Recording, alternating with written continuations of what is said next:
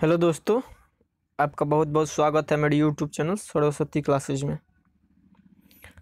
आज के हम इस वीडियो में एक बहुत ही बड़ी न्यूज़ का बात करेंगे। क्या है न्यूज़ ये न्यूज़ कोरोना से रिलेटेड है। कोरोना और हमारे बोर्ड्स दोनों से रिलेटेड क्या है न्यूज़ आइए हम देखते हैं। क्या है? बोर्ड परीक्षा में पूछे जा सकते हैं कोरोना से जुड़े सवाल। ये कौन से बोर्ड के द्वारा जारी किया गया है? आप यहाँ ऊपर में पढ़ सकते हैं क्या सीबीएसई और सीआईएससीई बोर्ड के जारी सैंपल पेपर से दी गई जानकारी। ये आपको हम एक बात और बता दें कि ये कोई डायरेक्ट सीबीएसई और सीआईएससीई बोर्ड के ऑफिशियल साइट से ये न्यूज़ नहीं है। ये उसके सैंपल्स पेपर आए हुए हैं। आपको पता ही है कि हर एक बोर्ड अपने एग्ज़ाम्स के पहले सैंपल पेपर निकाल रहा है। तो ये दोनों बोर्ड्स के सैंपल पेपर आए हुए हैं। उन सैंपल पेपर्स में कोरोना से जुड़े सवाल हैं। तो शिक्षकों के द्वारा अनुमान है कि जब सैंपल्स पेपर में कोरोना से जुड़े सवाल है और लगभग हर एक सब्जेक्ट में है, अब गणित में तो नहीं कह सकते हैं। और लगभग हर एक सब्जेक्ट में है। साइंस हो गया physics chemistry biology Hindi English लगभग हर एक सब्जेक्ट में कोरोना से जुड़े सवाल हैं। ये क्या शिक्षकों के द्वारा अनुमान लगाया गया है?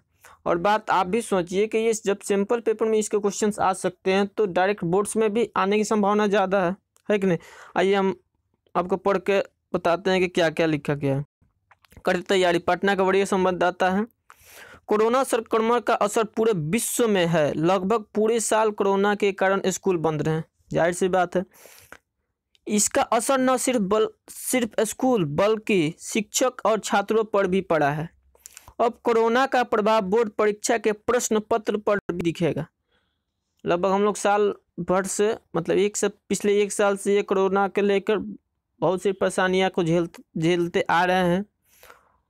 अब कोरोना का प्रभाव बोर्ड्स में भी दिखेगा, ठीक है? ऐसा बोला जा रहा है।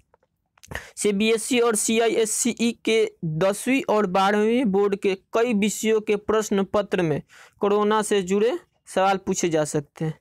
इसकी जानकारी बोर्ड द्वारा सैंपल पेपर से दी गई है। बोर्ड सूत्रों की माने तो चूँकि कोरोना संक्रमण से बहुत कुछ बदल दिया है कोरोना संक्रमण ने बहुत कुछ बदल दिया है, इसका असर सामाजिक के साथ साथ अर्थव्यवस्था पर भी खूब पड़ा है। ऐसे में इससे जुड़े बोर्ड, इससे जुड़े प्रश्न बोर्ड परीक्षा के दौरान विद्यार्थियों से लिया जा सकता है। ज्ञात हो कि बोर्ड द्वारा सैंपल पेपर जारी कर दिया गया है। कई विषयों के सैंपल्स पेपर में कोरोना से जुड़े सवाल पूछे गए हैं। ठीक है? आप यहाँ देख सकते हैं क्या लिखा हुआ है। अंग्रेज़ी में जहाँ पैसेज, लेटर आदि पर कोरोना से जुड़े सवाल रह सकते हैं। वही बायोलॉजी में वायरस के फैलने आदि से जुड़े सवाल रहेंगे। शिक्षिका पुष्पा सिंह ने बताया कि अंग्रेज़ी में कोरोना से जुड़े एक या दो सवाल रह सकते हैं। यहाँ पर रह सकते हैं की बात किया गया। इस पर ध्यान दीजिएगा। यह किस तरह फैला? इस पर सामाजिक विज्ञान में प्रश्न पूछा जा सकता। हिंदी में लेख, भौतिकी और रसायन शास्त्र में कोरोना से जुड़े प्रश्न पूछे जा सकते हैं। ठीक है? अब आइए ऊपर क्या लिखा हुआ है? संक्रमण किस तरह से फैला? हिंदी में आ सकता है लेख, ठीक है? भौतिकी और रसायन में भी कोरोना से आ सकते हैं सवाल, ठीक है? सिंपल सी बात ज़ाहिर सी बात है कि इसमें सवाल आ सकते हैं। अंग्रेज़ी में पैसेज, लेटर आदि आ सकते हैं कोरोना पर। अंग्रेज़ी में जब आप पैसेज लिखते हैं और लेटर लिखते हैं कोरोना एक हो सकता है, कुछ में आप उस पर लिखना पड़े। छात्रों को कोरोना की तैयारी अच्छे से करने की दी जा रही है सलाह। मतलब आप अपना सिलेबस तो कवर कर ही रहे हैं और लगभग कर ही चुके होंगे मैक्सिमम स्टूडेंट्स क्योंकि अब एग्ज़ाम आने में बहुत कम ही टाइम है।